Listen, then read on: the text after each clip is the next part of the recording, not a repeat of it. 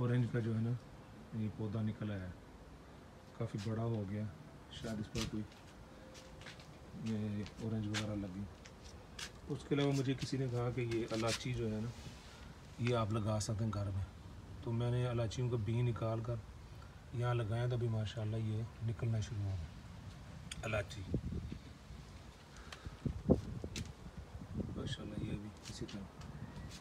तो ये आज मैंने आपको अपने